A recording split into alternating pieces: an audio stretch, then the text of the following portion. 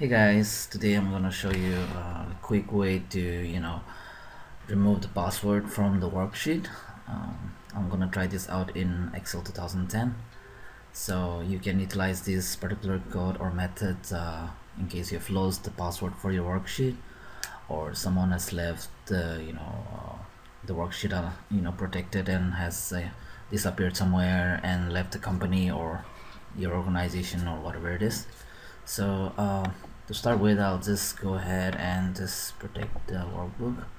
So let me just uh, put in any password any random password. Uh, let's see. Password. Just enter any password. Really doesn't matter. So just enter paste and paste it again what I did was like right click and paste and click on OK. Now what you need to do is uh, I have added a code in the description so just uh, go and copy it from there and after you have that uh, with you just go to developer tab just click on it and click on Visual Basics. So this is the code I have uh, put in together so I'll just uh, show you how to you know put it. Uh, just go to insert from your developer tab and click on module. So in case this uh, uh, the pane you know like the project pane is not available just click on control R. So that will be control sorry control R. So that will be visible. So if this is not there control R from your system. And you can just paste the code you copy from there. Just like that. So I'll just walk you through the code uh, once I show you the demo. So just once you paste the code just you need to click on uh, close.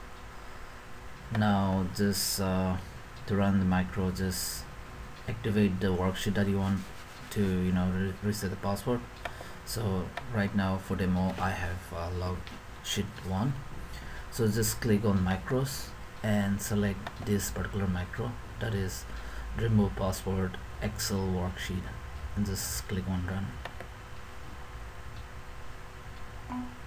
There it is. So it says one usable password is this blah blah. So now you'll find that you can just type in it's already unprotected and it's okay. So let me quickly walk you through the code. So I'm just removing uh, okay. Let me just close this local window. So for further reading I have uh, included some links um, to see how you know um, Microsoft work with you know the protection and password and encryption and all this stuff so. Uh, so the first portion is uh, all the declaration and it has all the nested loops. Um, we have um, 10 loops altogether. So chr is uh, like a worksheet function which is character. So chr so if I put 100 you get letter D. So similarly uh, in Visual Basic if you're using like chr 100 you'll get a character. So basically the what the code is trying to do is just uh, create the nested loops and create a combination of all these characters using the loops for all these characters starting from 65 to 66 for instance. So this is putting all the combination and trying to you know uh, unlock the sheet. So this particular line where it says on error resume next. So whenever there is any error just keep on continuing until you know you find a possible combination to unlock your particular worksheet. So this particular portion is just the worksheet with this combination of um, it's all the concatenation of all these nested loops uh, variables.